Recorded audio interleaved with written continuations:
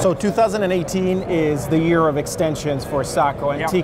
Uh, we know we've seen the T1X with Tikka. Uh, we've seen the, the number of line extensions. You brought with you the Carbon Wolf, which is the companion to the already famous Carbon Light. Yes. This is a Carbon Light on steroids. It's got a lot of features that will make a lot of, uh, of shooters really happy. Yeah. Walk us through it, Mika. Okay, so what we have in here, the stock is made with the same resin transfer molding technology as the uh, carbon light stock.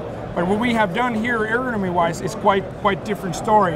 Um, we have quick adjustable cheek piece, what can be adjusted by just pressing the button here, and also we have quick adjustable length of pull, again adjustable just by pressing the button on the stock.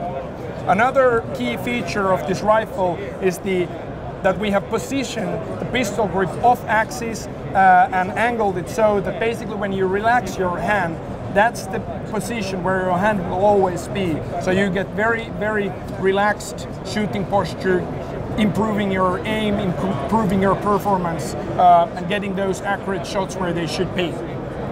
The stock itself, of course, when it's carbon fiber, helps uh, the accuracy because it's stiff and it doesn't change its dimensions when you go from different temperature um, uh, regions when you're hunting.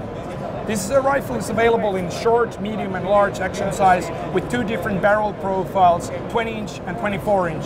And both of them come with a little bit heavier barrel, barrel profile that you're familiar with from the Carbon Light. So this is like semi-heavy barrel profile, all fluted, uh, and they are also available uh, with uh, muzzle threading. Calibers available for this? So you get, go from uh, 308 up until 300 Win Mag and everything between that. So the most common calibers. Also 6.5 Creedmoor is available with this gun. So all the features you want, all the calibers you want. Yes. All you need to do if you want to learn more is go to sako.fi where you can get more information about this, Yep. more information about all of our guns, including what calibers and what SKUs are present in uh, here in the U.S. market. Mika, thank you so much Yeah. again for giving us this information, Thank you, Matteo. And we'll see you guys later.